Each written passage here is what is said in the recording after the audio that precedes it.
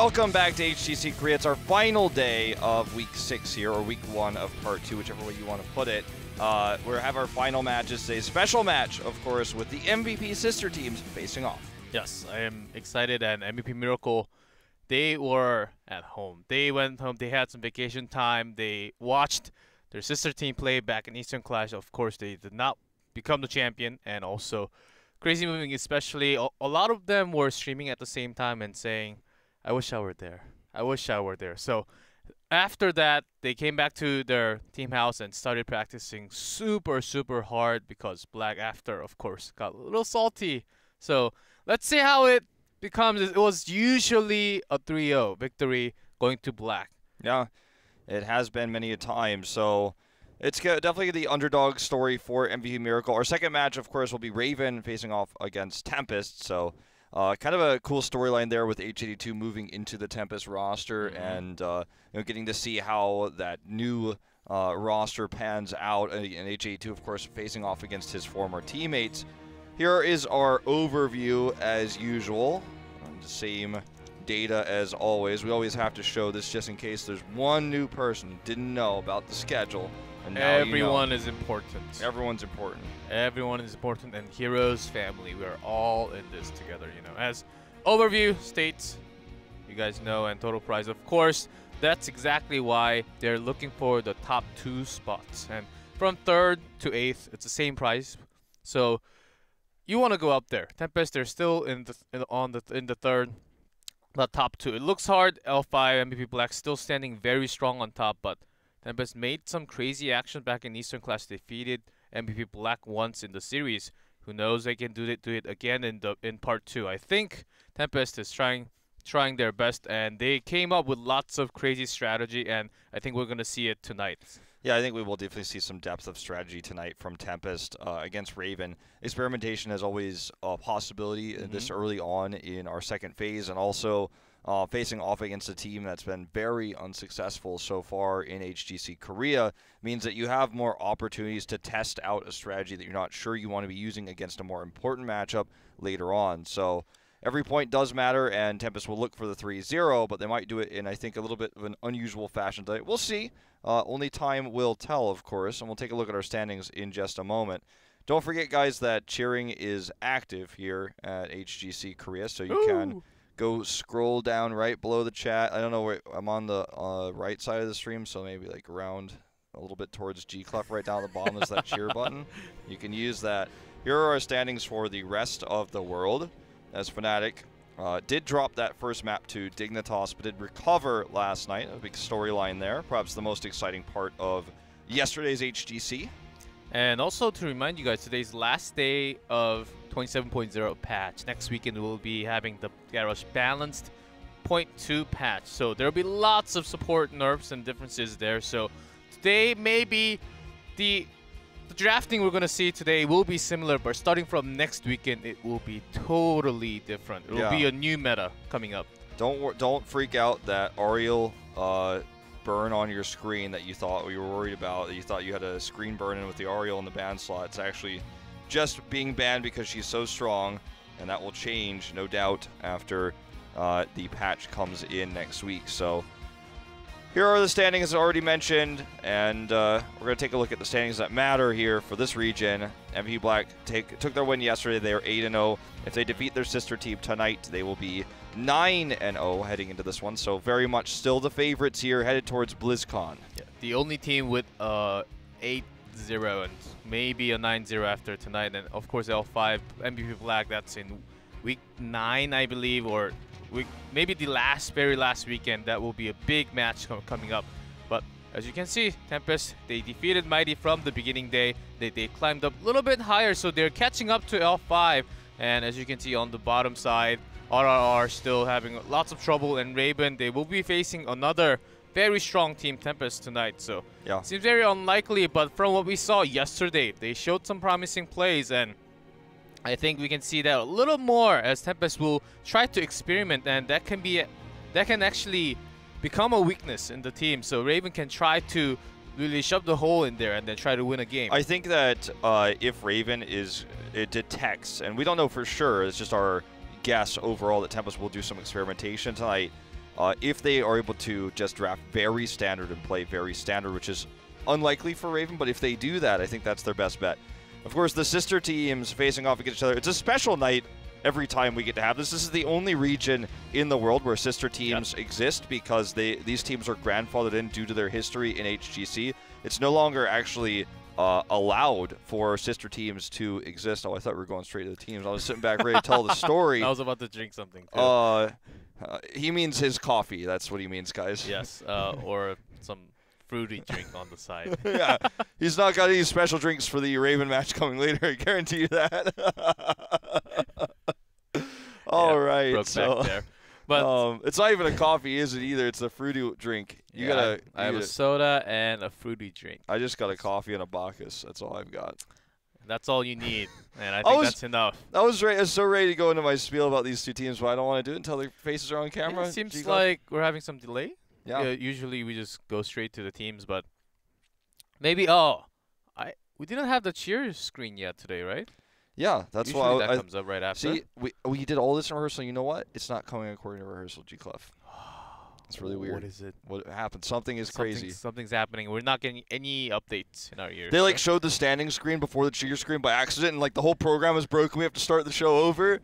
Let's go back to the no. beginning. Let's go back to that zoom in screen. Yeah. well, all right. Well, well MVP match. that's that's what's coming up, and there's a Korean meme for MVP Miracle. They're called 10 minute team. Before 10 minute, they are strong. They are, take the lead against the L5. They take lead against the MVP Black, against Tempest. But after that 10 minute mark, they oh here we go. All right. So I know this is in Korean. Actually, no, it's in English now. So Bits are a virtual good you can buy by clicking on the Nexus icon at the bottom of Twitch chat when you use. But oh, but anyways, let's take a look at MVP Black standing, still ahead Rip of Team Wolf. Freedom, and we still have Gladman Seven. He is still the gladdest up at the top of uh, the leaderboards. And Fnatic is the most famous team in the world, up with Dignitas two biggest fan teams. This is kind of like a popularity contest, you know, uh, in a in a way. That's right. Where's my L5 fans at though? Defending Eastern Clash champions. He told you guys to drop the bits. Why aren't you dropping them? I dropped some of mine, but I guess it was not enough. Uh, so, anyways, um, if you guys want to cheer, as we were talking about earlier, the cheer uh, icon is just down below the stream, so you can hit that button and reclaim or not reclaim but claim your rewards your mounts and stuff like that or sprays i should say. And uh, the first elemental has already been unlocked. As you can see we're getting very close to 20000 and that's when we'll get the second one and then the third one uh, will be unlocked if you guys keep cheering which i know you are. And we're going to have um, the uh, the rewards I think are already actually available. I claimed them myself, and uh, so I think you can get them in your BattleNet account now and uh, use them. So they're out. Put them to good use. Yes. And I don't know what's going on. I just want to get ready for the games. Uh, we're doing some Heroes of the Talk Resident Sleeper right now. I, guess, I, I think the Korean casters may be like super too excited about today because they seemed super hyped about today. I don't know why. Yeah. Maybe they just keep on talking. I, usually, if something's wrong with the player setup or taking time with the delay, usually we get something in our ears. But today, nothing. Yeah, we're a bit in the dark on this one. So uh, I do want to. Oh, there we go. Oh, yes. All right, let's talk about the history of these two teams. This is a very special day when the MVP teams face off against each other. It's twice a season where we have this happen. We already had it happen earlier in this round robin. MVP Black took the series 3 to 1. This will be the sixth time that MVP Miracle and MVP Black face each other in pro matches, and this will be the first time uh, that Judy is on the roster. So this is going to be an exciting series overall just because of the history between these teams. This is the version of Miracle that we have here with Judy on the tank. Crazy moving a staple since the beginning. Sniper has been here since the beginning, and everyone else has rotated in and out. It's not been a stable roster for Miracle, but they won uh, only one series against MVP Black. They are one and four against the Spring Global Champions from 2016, and they are 3 and 13 in games. Massively the underdogs every time. Their most successful run against MVP Black was back in the Gold Club World Championship in China, where they defeated them in the semis. They ended up losing the finals to Ballistix in that grand finals, but MVP Miracle has done it before, but it feels like now with this new league system, the difference between the two teams is so much wider. It shows so much more, and uh, you know, the joke we always make is it doesn't feel like MVP Miracle anymore. It feels like MVP Sky, the team that was unsuccessful uh, compared to Black back in 2015. So a different roster this time with Judy. Can they break through? Black has definitely shown some weak points in the past few weeks. That's the big question here. And to be honest, I think most people would predict an 0-3 score for this roster. Yep, that's. I think that's a very solid statement going through. And there's some rumors that Jaehyun may go into a warrior role when Judy cannot play the warrior hero. So there may be a role swap between Jaehyun and Judy. Judy swapping into a support and Jaehyun into a warrior. Seems like that's almost like a trend now in Korean. Lots of the rosters having that warrior support swap. But here comes MVP Black. Kyocha moving into the support and since that it's been solid, but still I think he needs to brush it up. He's not at the level of Day, but he has been really filling the hole pretty alright. But once it gets to the time when you need the 120%, when you need the extra 20%, I don't think he is showing that extra 20%, and that all starts from Rich. His laning, they win lane, win game. We we've seen that from yesterday's games, but they also have weaknesses. Yeah, that's and, why. And every time we see uh, teams draft against Black right now, the go-to strategy is to try to target Rich's hero pool, prioritize the melee heroes on your side, even if it doesn't make sense for the draft, to try to weaken Rich. Because if Rich is on an unfamiliar hero, sometimes he can fall down when Kyocha isn't there to support him, as you say, because Kyocha still has not lived up to the legacy that Day left behind for this team. So when Rich is playing on an odd hero like a Thrall or a Sonya, when this does get forced by the bans and picks, then sometimes Kyocha can falter. Will it happen in this series? That I don't know. But if there's any team that knows MVP Black, it's going to be Miracle, the team that lives and practice together with them for so long now. Over a year of time have they existed side by side, and Miracle might be able to find those holes in what looks to be one of Black's, I'd say, it's not a perfect roster. Its weakness is definitely going into support. I wouldn't say it's one of their weakest rosters because while Rich was out of the team and Coach was playing melee, I think that was the weakest form of MVP Black, most would say. But it's still not the core Black. It's not the Black that dominated them over those four series they won. So let's see if MVP Black shows those weaknesses as we head into our first map here. Do you think Miracle could take a game here, G Clef? What do you think? I think it depends on their strategy. If they are going for a big shot in game number one. I think they, depending on the battleground, if they go something like Raxes or some crazy strats that they have against the MVP Black, I think there's a big chance that they can pull it off. But as they're known as a 10-minute team, can they finish a game off of Black within 10 minutes? Sky Temple's one of the good maps to try to do it on, though. Sky Temple games have been known to end quickly. I feel like that's changing, to be honest, though.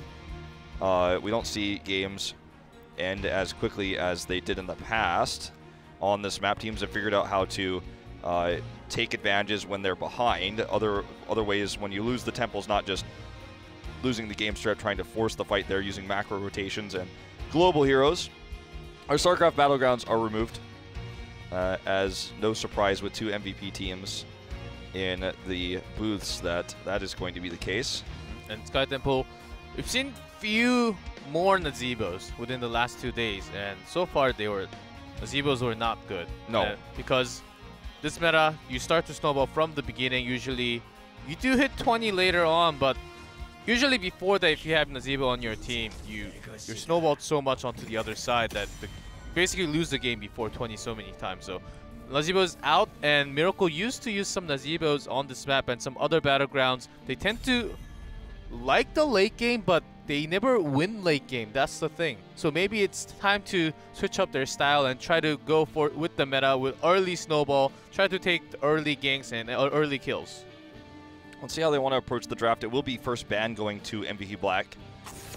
And that uh, Auriel, like I said, it's not a burden on your screen. It'll be changing soon. Don't worry. The patch is coming. Mm -hmm. Expecting the Genji ban here from Miracle, considering the skill of reset on the hero has been quite a carry pick for MV Black, even when they don't have the supports they're looking for because they take him first pick. So will be removed here. This puts Black in a, position where we'll have to see their true colors here because they were given many opportunities yesterday to pick the Genji first. They should know if Miracle's really ready to play Garrosh, they can just Black can just have first pick Garrosh. We've seen that happening many times over lots of other green teams too. So I think that's an okay setup to have a strong tank. But usually we've seen solo Garrosh was not the best thing oftentimes. So we end up having double tanks in the front. So I think grabbing a Dehaka for rotation, it's a little bit unusual, but for the battleground, I would say that's an okay pick. It's also Rich's hero. And we talked about how Rich has been targeted in these drafts. It's Mhm. against the stronger teams. It has been a struggle for Black when that happens, and he's already just going to grab the Dehaka immediately for the strong top lane, the extra pushing power that provides, and the global rotation, which is so important when you have two objectives on opposite sides of the map, as we do here on Sky Temple. Now Miracle's response. There, there is available. Oh well, it's not. It's going to be Team Green over here. Um, I was gonna say there's available Tassadar Smork. and Smork indeed. Tassadar Valla. Well, they want to take the Garrosh, and they pick the Rehgar very early, which will now force Black to take Uther in this rotation.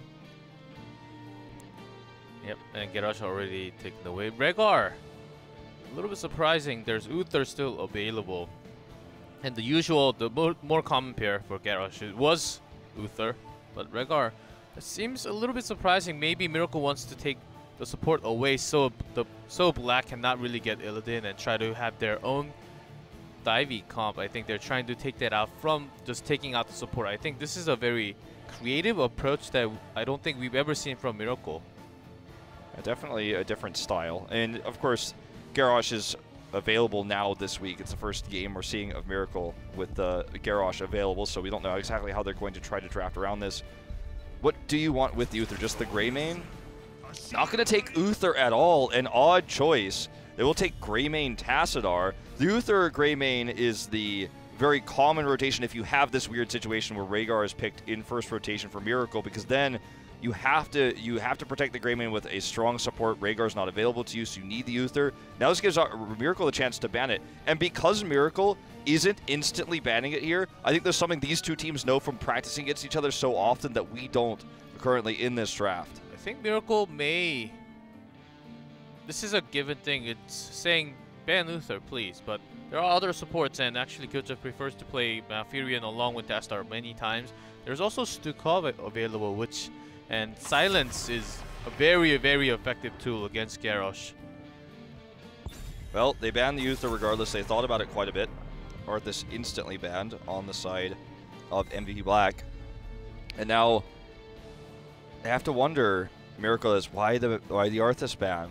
What are they running? And obviously Greymane could be quite strong uh, if there is no Arthas, but Arthas is not required to deal with the Greymane. Arthas is more commonly used to deal with heroes like Illidan. Man, I have an odd ban, the Arthas, when you think about it, because Rich is already on the Dehaka. It's not going to be solo tank Dehaka Tist. That's not what we're going to see. So Arthas ban's a bit puzzling, but they instantly locked it in. Let's see. Rich may just go in with the dive even, without the reg without the Rehgar on their side. They have Tastar, so second support solo. Hmm. This is a puzzling one for sure. Banning Arthas. It's a bit odd. Let's see what Miracle wants to run with this. Obviously, Arthas does with his slows, if he can get in a good position, make Garrosh a lot stronger.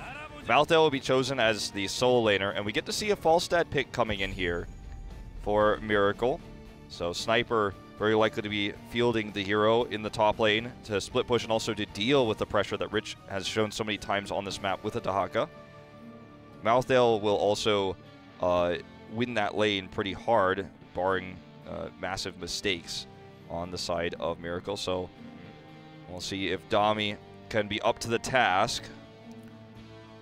Miracle really pushing their lane power to really stop Rich from doing all whatever he wants to. And I think they're gonna go around a little more. Kharazim, surprising. Maybe they're just going in all in. Little di- semi dive, I would say, with Greymane and Kharazim and Tyrael Sanctification. It feels it feels like an old, uh, you know, summer draft from 2016. You have the dive, could be a Wizened Duelist, Greymane as well. Very small chance, but still something that could be considered with the uh, essentially triple support that Greymane now has. Um, uh, the Kharazim pick, I think, is Black's error was to uh, choose Tastar over Uther in this draft, and now they have to use the Kharazim. It's not unwinnable, but Kharazim has an abysmal win rate right now, and it makes their draft so dive heavy. And that's where the Cassia pick comes in. They have the blinds here.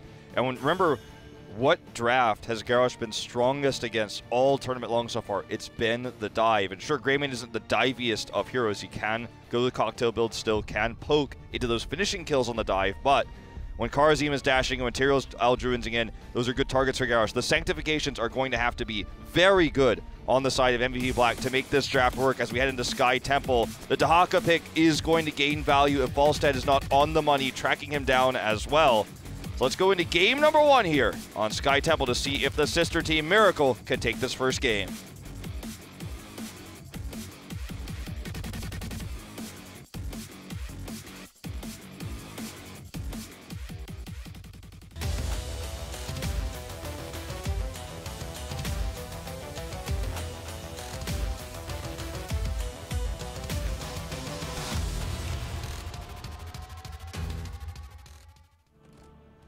In blue, MVP Miracle, Judy on Garrosh, Dami on Malthael, Jaehyun on Rehgar, Crazy Moving on Cassia, and Sniper on Falstad.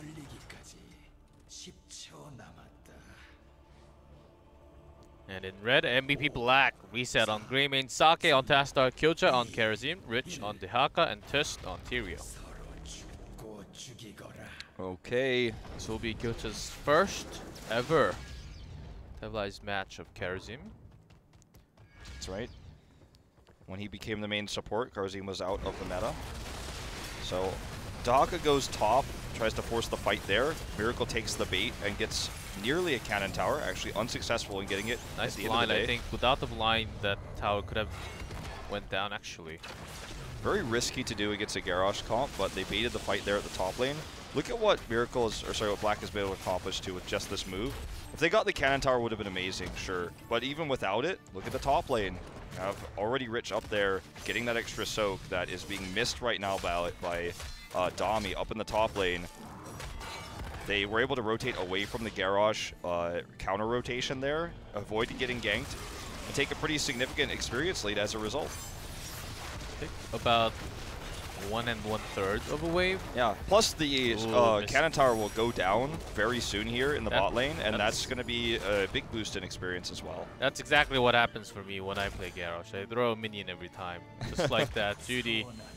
It's it's really tough if you get the target, but sometimes you get you toss a minion because it's closer to you. It would so have been hard to kill the hero, but regardless, they couldn't really do too much. Nice try, Judy. it happens. It's his first game of Garrosh. He's playing against MVP Black. Positioning is good. So now the uh, top lane is going to be dominated by Malthael. Obviously not necessarily in this exact moment where we have the uh, temples activated. Jaehyun will be chased away here in a wolf form. Did go for Lightning Bond, by the way, on this large map. A bit of a surprising pick, but will help empower Garrosh when he's being chased or when he's going in deep. Same with Malthael when he does go in with his Tormented Souls post 10. But this is what I was talking about. The hyper-aggressive pressure from Black in the bot lane allows him to directly uh, now punish this mid-key. And it's Tastar versus Falstad in the bot lane. They're going to get this full wall now. The bot pressure caused this to happen, and we're going to see a toss attempt here. Actually, Sniper does fly in. They are looking for the pick. I don't know if they're going to get it, though. Tist has El'Druin's. That's going to be the escape. Nice aggro distribution. Yeah. They took damage and they split it. The damage. Kharazim came coming in. Healing, of course, helped them. But the focus was a little bit off from Miracle, and the path they took, the path the Black took to escape that, that was a nice route. Now look at the top lane. We talked about how it was going to be dominated and Dehaka was going to struggle, but we're going to see now the first swap. Malthael is no longer necessary in the top lane. It's going to be Sniper who comes up there because he's going to be the one who wants to rotate down in the second Temple phase. This allows Malthael to be more annoying in the mid and bot lanes with his rotations. Black still hasn't gotten that cannon tower, but I think this is about to be the moment where they do finally seal the deal on that to get that extra experience boost to level 7. Even using the Storm here to help finish it off. So they will get that down now. And they do control this lane. The cost of the top lane uh, matchup going poorly for them. And Rich being hyper-aggressive. Sniper calls the bluff, knows that a rotation is certainly coming. The mid fort being so low is the saving grace here for Black, you have to say, because the top lane is always going to be lost with Malthael on the board. And now with the Falstad versus the Dehaka, very similar situation, an even worse one, you might be able to argue. But this is a lot of pressure they're getting done. They want the healing fountain, the healing well here, so that when the next phase happens, they will be very much able to uh, out-sustain. They're a lot. Black has a lot more range, so Miracle could not really chance to end. Sniper Wugeko Finally. use flight, but no, Drag is there and does not get to use the flight. That's the first kill of the of the day here. You were talking in. about this yesterday. MVP Black so keen on these solo lane rotation ganks. When Falstad is winning the, la the lane, that means he's on the red side of the map, which means that there's an opportunity for a rotation like this to punish his positioning. All they have to do is get a good hook. We saw three times Tyrael rotated towards that, and Sniper reacted. But the third time, he did not react quickly enough and gets picked as a result. So Black gets another kill on the board. Temple is active. They don't get the healing fountain they were looking for here, but the gank is going to make this so much easier to deal with. And they're just going to sit here and control it. MVP Miracle has a late clear on the top camp. And so they're just not even anywhere near this. Looks like they might even give the majority of it up without even a contest. And this is pre-10. This is not like Black has a massive talent tier advantage or anything like that. They just rotated better. Seems like they want to go come and contest Falstad has to fly in because I'm guessing the flight was cancelled. So still has off cooldown and Dehaka also can join now. The camp is on the other side. Dehaka has a pretty good wave clear. So the top seems to have 10 is reached for Black. There's isolation. Seven sided, locked in. Okay. Not fully going. There's isolation. Rich is looking for the kill he here. He wants it. I don't think he will get it. In fact, needs to leave now as Dami is coming up here. But Falstad has been struggling in this top lane because of the rotations, in this case just because of the heroic advantage. Now Dami finds himself caught, doesn't have very many escapes, and look at that, another beautiful hook from Rich. They're looking for the double here. Cocktail on cooldown, so Sniper will get away with his life. The Black is running away with this game very quickly. This is not the pick of Sky Temple that Miracle wanted. This is not the outcome they expected when they went into this draft. They wanted this map. They wanted to do the 10-minute team strat where they get so ahead in the early game, but Black is dominating them now. Dehaka rotating between mid and bot, not missing a single wave while they push this, knowing there's no threat of rotation from Sniper coming down. And experience lead is massive now for Black, pre-10. Miracle just struggling to keep this fort alive. They succeed, but the trade-off is massive. That fort will be going down anytime soon with the next camp coming in. That's how I feel about this too. If you're a Miracle fan, that's probably how you feel.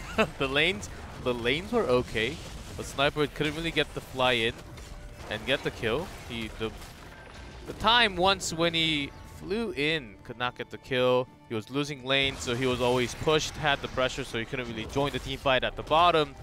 They were losing levels, and by that time they were losing forts and Black hit 10. So snowballing is going insane for Black and Miracle. Seems like they don't have a good answer here. I, I would just say, actually just try to maybe ignore some EXP here and try to get some kills or actually at least not give up kills to Black right now like, like this. Huge taunt here and seven-sided has to be used, but I mean, they didn't even need this sanctification.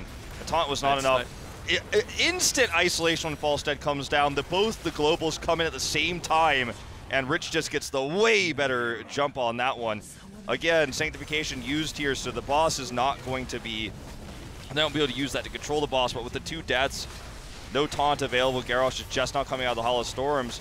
I think Miracle's best bet is to get a little bit of a lead on the top temple. They're not even going to get that, though, because they don't know where Black is. They can't know for sure Black's on the boss. They took the safer approach to try to get experience in lanes and not even go directly to temple. So they lose the boss, they lose the temple. And what do they gain? Not a whole lot. In fact, Judy might get picked. Early Ancestral used. And Miracle is in a world of hurt now. Nice blind coming in. They, they're doing soaking so much damage, but the lightning bolt does not connect anymore. Actually, the damage is so much more from Black. This is a 4v4, and Dehaka is just on the temple. Meanwhile, they're soaking in so much EXP. Okay, reset is very low. This is going to be a potential one fight here for Miracle as Tist barely gets the El'Druin's out. Look at the sneaky move from Kyocha. He gets away. Sure, they get the pick onto Tist, but Kyocha somehow sneaks away to the left. We'll have a dash here to the minion wave. Doesn't even need it, wants to stay mounted. Gonna head directly for Rich. They get the entirety of the temple while Bosch pushes down the keep wall. Now, because this has to be dealt with, it's dealt with so late for Miracle, Black will get two full temples Two entire temples, not a single shot given to Miracle. The keep wall is down, and this game, it feels like, is crumbling to pieces for Miracle. How could they even possibly mount a comeback given the situation? We're going to see a four-man gank for Rich. They better hope they get at least this. Yeah, this one will be kill for sure. There's not much help on the other side too, but meanwhile they got they got the boss, the entire two temples. They got to keep in nine minutes. I would say that was a massive, beautiful rotations coming out from Black. And Miracle, they were very indecisive about rotations. Where do we focus? Which kill do we want to go for? Sniper, I'm pretty sure he was calling, do I have to go now? Which which side? Like, when are we going in? Yeah. Of course, he was having a hard time against Rich at Dehaka, but their rotation seems very late today, and they usually play a little bit little more crisper than they do today. I don't know what's going on right now. I mean, also, I mean, you shouldn't be having that much trouble against a Dehaka as Falstad in the top lane anyways. The vision control here has been incredible for Black too. Rich is going to come in here for the attempted gank. Judy does toss away, but is already pulled here. Another great hook. Sanctification used. Unfortunately, isn't going to connect with the rest of his team, but with the early pick onto Garrosh, no other tanks on the side of Miracle. They are in dire straits. Isolation helps get the pick here onto Rehgar. And let's not forget all the while the catapults are pushing bot. It just feels like Black has such better control of the map because this top lane is so dominated by Rich. They're always in vision dominance. They always have better ideas about where everyone is on the map. When Rich died in the top lane a few moments ago when the four-man gang came in, Enemy Black was like, okay, well, let's just stay on the temple. And in fact, you know what happened when that happened? They sent two off the temple mid to get more soak because they knew saving Rich was impossible, and they knew where everybody on the map was for Miracle. Good side storms here for Sake, actually maximizing the damage. They don't stack. Sniper is so, so low. Just wants him. There's the side storm double to get the kill. and, you know, when someone cuts down a tree or pushes one over, a old deadwood in the forest, you just watch it fall and you, you have your mouth wide open in, in awe as the tree falls. I feel like that's what we're watching right now. The tree is already cut. It's already pushed over, and we're going to watch it fall. Tree's already dead from what, from what I see. Um, I was thinking why Garrosh was taking so much, so much damage, even if when he has the armor, wait, hold on to that thought as Tommy is trying to turn this around, but already he is gone and dead. This is going all the way for Miracle Talent down, three levels down. And this will be a core shot for sure. Gust a little bit too late. Could not really save his teammates there. It wasn't even the Wizened Duelist build or anything like that from Greymane, just a standard cocktail. The rotational play was better. Rich won this game when he won the top lane against Falstad twice, getting two solo kills there. The gank rotations from Tist were brilliant. MVP Black won it off of the first pick Dehaka. And respect has to now be given to Rich's Dehaka, here he was criticized for heavily uh, when he rejoined the team back in phase one, or sorry, part one of phase two. But now that he's shown prowess on the hero, is getting solo kills against Falstads, having Tist getting him help, helping get those ganks as well. The game was won by him. Those picks allowed them to have the map opened up. But Falstad was the only global on the side of Miracle, was constantly either dying and having to respawn or having to hearth home because it was losing so hard in the lane. Yeah, so hide my couldn't really get it out of there. well, Dehaka won the lane so hard, and I'm pretty sure they wanted the Falstad to win the win the lane, and Sniper had lots and lots of trouble. They could not really get this rotation started for their own, and it never started. They were always behind. They were trying to catch something, but Black, knowing every move, it just never happened in game number one. And I I I hope they just forget about game number one and try to just refresh, just go in into game number one just like game number one never existed. Yeah. Okay. I I think, think, that's that should be the to do. way. It was their map choice. They didn't have first ban, uh, and they will now uh, if they choose that going into game number two.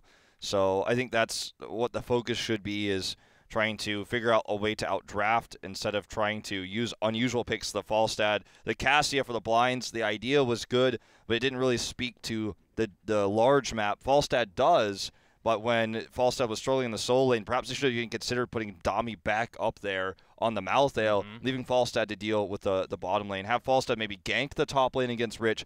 I think leaving a Malthael in the top lane and, and having Falstad roam would have been a much better option for them because then you can have the opportunities to fly in and get those ganks onto Rich instead of just trying to struggle up there. Shouldn't have been the case, right? So when you think about how things should have been in this game, it's like, well, why would they do that? Well, Falstad's really good against Dehaka. He's going to be fine up there. Mm-hmm. But in this case, he certainly was not fine. Yeah. So it's a, it's easier to look back, right? Hindsight is 2020. So I'm trying to not put my hindsight bias into this one, but you know, I feel like things could have been a little bit different. And probably some more discussions are being had in the booth right now for MVP Miracle. Yep, and it's just the gaming sense. If you look at the map, if you even if you're just playing Hero League, if you think your top lane is losing, if you have some some time, if you have some wave clear, then you can go up and help your teammates a little bit. It relieves the stress, the pressure off the lane, and that the hero in the lane, your teammate can do so much better, has so much more time to go against the enemy hero. So that's what was needed for Miracle, and they could not really make that adjustment because Black was pushing so hard.